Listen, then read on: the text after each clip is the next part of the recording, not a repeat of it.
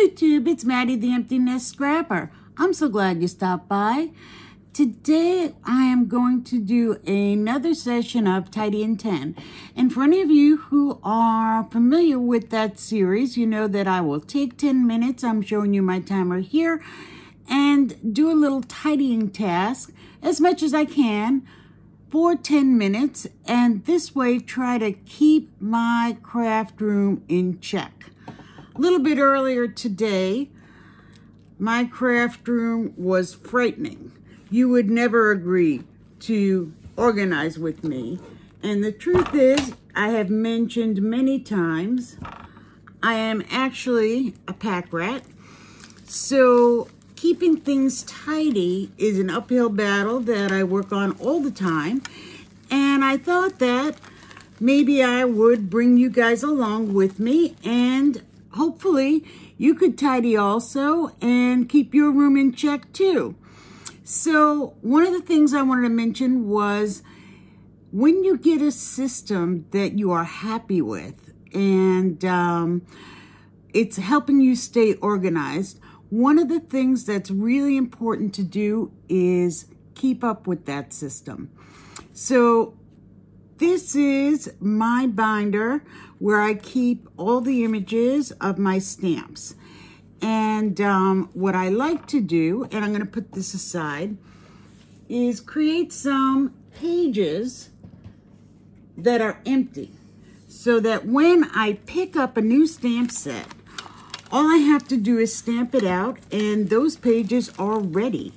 So today I'm going to take my Dollar Tree page protectors, which is what I typically use, and some Michaels cardstock and fill those up. And if there's time, I will add them to my binder.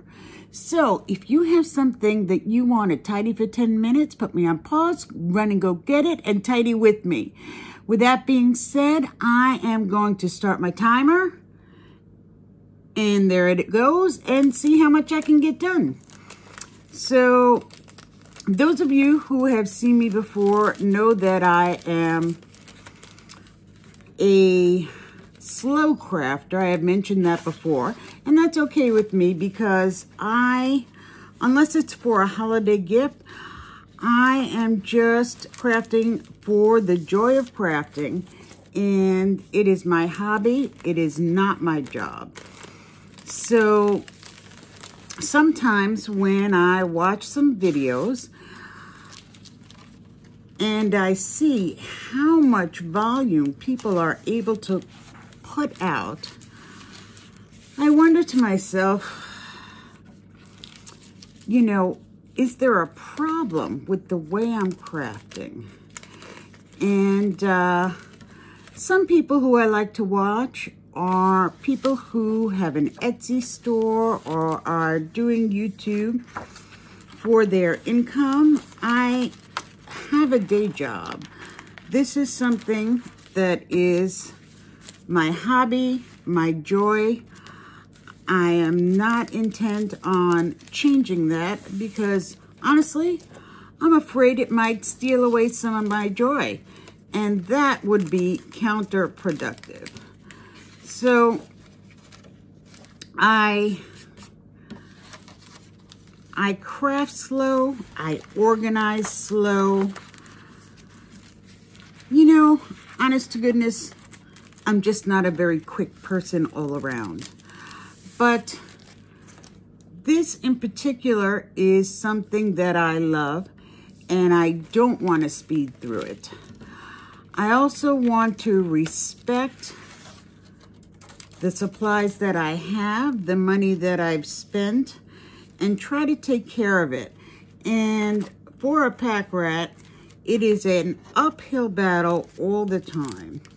So the one thing that has helped me keep in check, not only with my spending or um, making sure that I'm aware of what I have and so that I don't buy the same things over and over,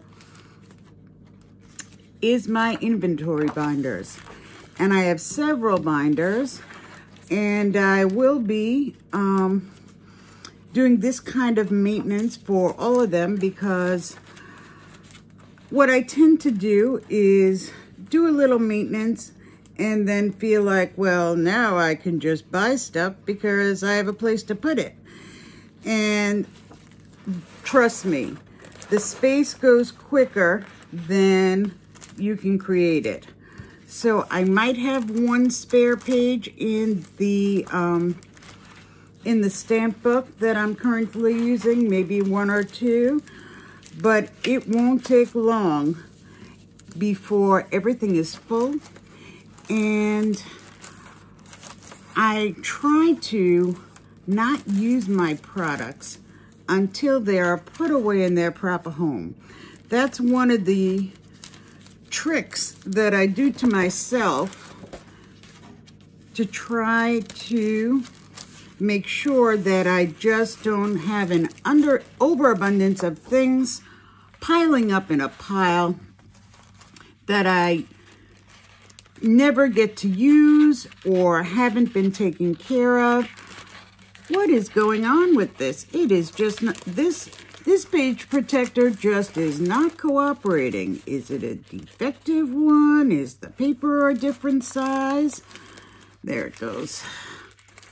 Who knows? Who knows? But something like that, when I have a new stamp set ready to go in, would frustrate me to no end. I guarantee it. I just would be um, annoyed that here I am trying to be organized and it's just a struggle every step of the way. So if I take tiny little steps like this. Something that should really not take a bunch of time at all. At all. Um, and uh, try to take care of it when there's no pressure, when there's no stamp set waiting to be put inside. Honestly, I just grabbed a bunch of page protectors and paper looks like I am going to run out of paper and have some page protectors left over. And maybe I'll just go with what I have pulled out and uh, add some more stock to this on another day.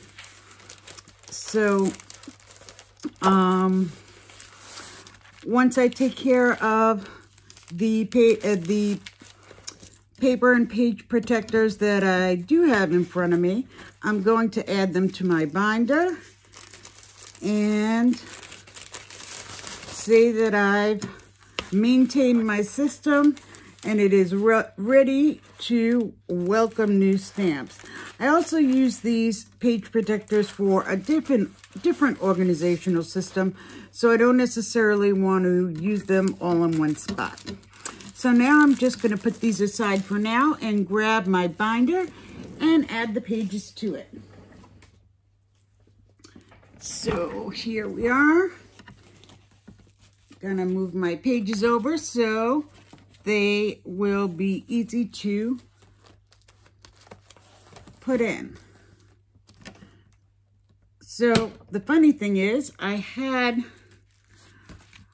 all of these stamps in a one inch binder. If you saw my video before, you know that that was overflowing and it was ridiculous. And I put in so much that I actually made the binder split.